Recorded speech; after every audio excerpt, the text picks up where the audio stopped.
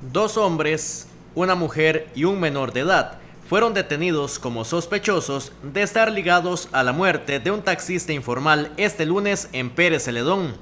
Se trata de dos hombres de apellidos Morales Sánchez, Camacho Monje, una mujer de apellido Arguedas y un menor de edad.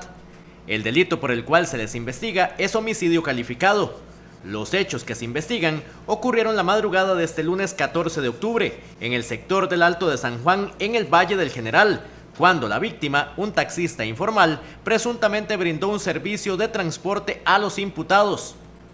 Según se investiga, estos habrían planeado asaltar al ofendido, de apellidos Fernández Cascante de 44 años, y luego dentro del carro habrían procedido a quitarle la vida. A la persona menor de edad se le abrió una causa penal juvenil. Este caso continúa bajo investigación.